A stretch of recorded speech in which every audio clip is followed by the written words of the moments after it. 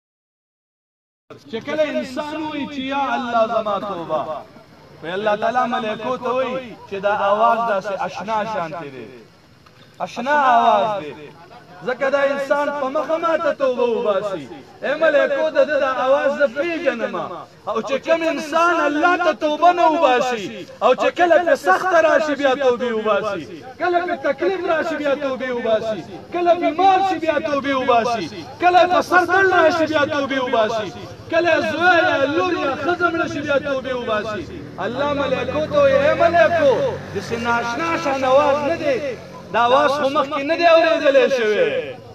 د الله سره ربط قایم کړئ د الله سره تعلق قائم کړئ نن جمعهتونه جوړ شو هر سړی که دوه کور جوړیږي یو جمعهت مو ته جوړیږي خو عبادت والا پکې نشتا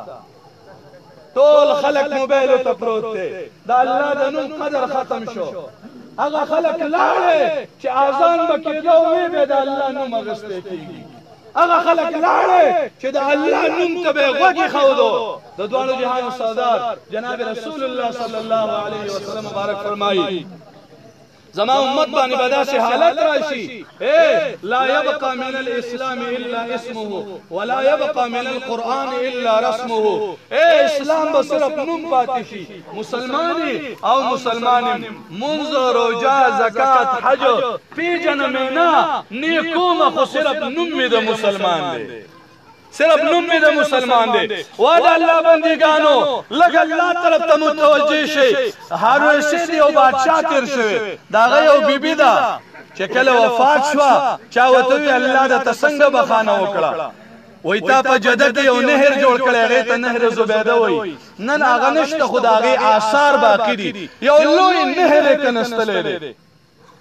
اګر چې په هغه وخت کې ورته انجنیران ووې وې په دې کې داسې سخته ګټه ده چې دا د سره ماتیږي نه دا پرې ده هغه ورته ووې وې که په یو یو کرندي په یو گزار باندې لس لس درهم زما نظیم زی الله ګوم خدا نهر وباسي او چې کله وفات شو چاته تاسو کو الله دې تسنګ بخانه وکړه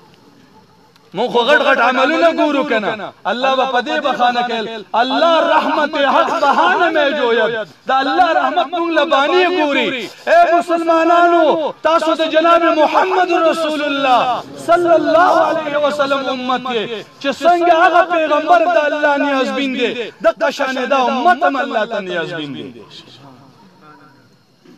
هغه ورته سوی وی الله را ته پدې بخانه نه کوله چې دغه نهر زبیده میستلې وی پسې د بخانه وکړه وی یو موقع باندې زناستو ما علما مختلف روایت ذکر کوي یا مې ډوړې خوړه یا زه دا سناستو ما سر می سرتورو اذان شروع شو د اذان आवाज می واورید الله اکبر الله اکبر چې کله مې دا आवाज واورید نو خپل لپټه مې راواغستو په دې سر باندې مې کېښوده ما چې سری د الله نوم یادېږي د الله د نوم قدر مې کړي ما د الله د نوم قدر کو الله زما قدر کو زبېدې په دې عمل مې د تبخانه نصیب کړه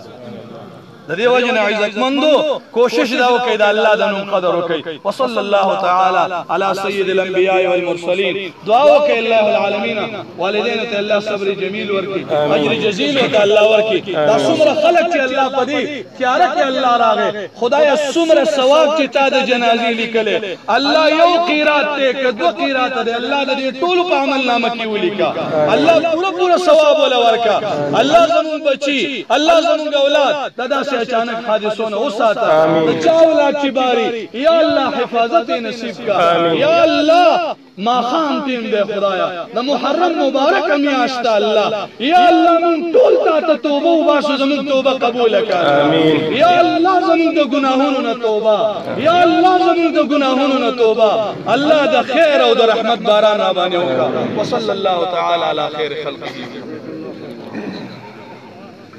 هلکه د تابوت خوا ته د چا نه پیسې پریوتې یو ملګري مونږ کې دي که د چا یي نو ما لخوا له راشي ما سره دي ښه یو ملګري راکړه